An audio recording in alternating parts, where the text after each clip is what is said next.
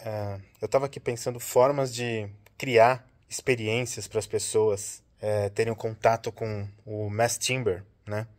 Depois daquele vídeo que eu postei, a gente teve várias reflexões, um monte de gente me deu bastante feedback legal e uma das coisas que, que eu acho muito importante que sejam pensadas para serem construídas com Mass Timber, eu acho que em primeiro lugar estão as escolas, né?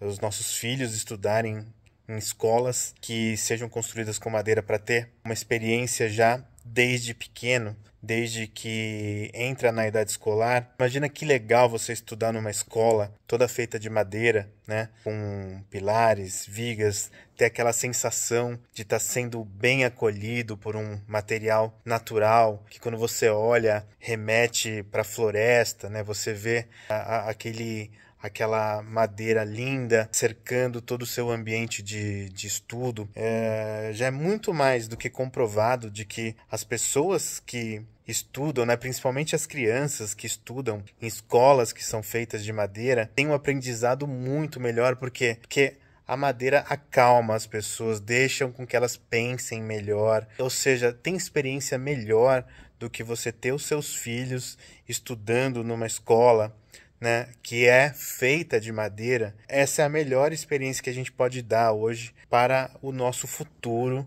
aqui no Brasil com o mass timber, né?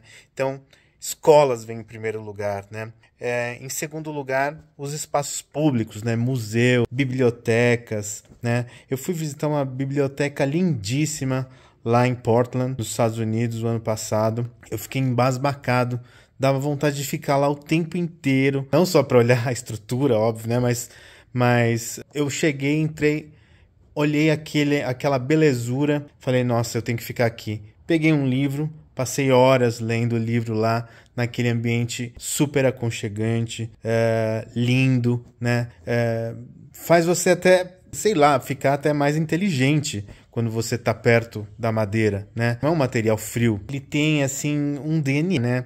Vocês já pararam para pensar que cada árvore é única, cada pedaço de madeira é único, né? É, eu costumo dizer que, que a madeira tem uma correlação com o ser humano quase que assim de irmão, né? Porque assim como nós somos únicos, cada pedaço de madeira também tem um, um, a sua peça de DNA né, diferente, com as suas marcas e tudo mais. Isso é muito interessante. Né? Então, primeiro, escolas, bibliotecas, é, museus, né? A gente acabou de entregar, né, o ano passado a cobertura da nova Pinacoteca de São Paulo, a Pina Contemporânea, são 1.600 metros quadrados e está lá na Praça da Luz, é lindíssimo, uma cobertura de madeira engenheirada. Um dos poucos museus, né, aqui no, no Brasil que, que é feito de madeira, né? Tem um muito legal também no Uruguai que se chama Maca e realmente é espetacular. E eu acho que isso faz com que as pessoas comecem a ter a, a tal né, da experiência de estar tá vivenciando a madeira engenheirada, né? Não só nas casas de, uh, de alto padrão, que a gente faz muito, né? Mas ela se torna mais acessível para todo mundo, né? Nossos filhos nas escolas de madeira, a gente aprendendo sobre cultura, ficando mais culto, mais inteligente numa biblioteca feita em madeira ou num museu, numa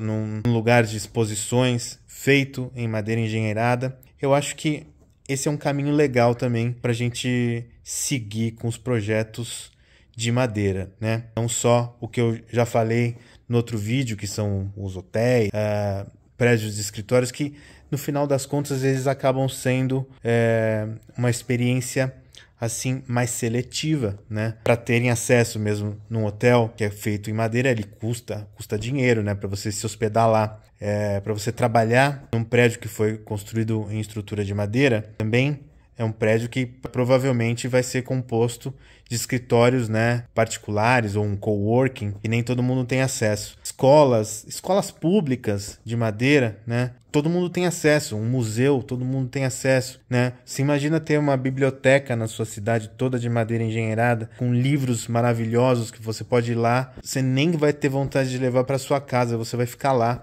lendo assim como, como eu fiz lá lá na, nessa minha viagem lá em Portland. Mais uma vez, para os arquitetos, para os investidores e até, né, como, como a gente está falando aqui de obras públicas, né, para os governantes. Então a gente começar a pensar também na madeira como um material diferente, né, sustentável para a gente fazer aí as nossas escolas, nossos museus, nossas bibliotecas, nossas. Uh, cara, é mercadão. É, eu fui para falar mais uma vez aqui. Eu viajo muito para visitar obras de madeira, gente. Então, é, essa é minha vida e é assim que eu aprendo, né? Na prática, vendo lá como é que os caras fizeram lá fora para fazer aqui para vocês, né?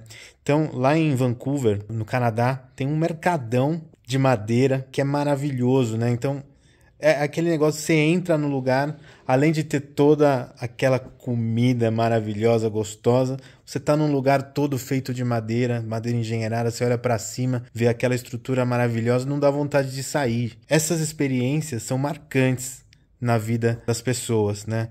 E isso é que faz com que cada vez mais todo dia que passa a gente se apaixone por, pelo trabalho que a gente faz aqui na Timbal né? É, com a madeira engenheirada. E é isso que a gente está querendo passar aqui para vocês, né? Essa é a minha reflexão do dia de hoje. Tamo junto e vamos para a próxima.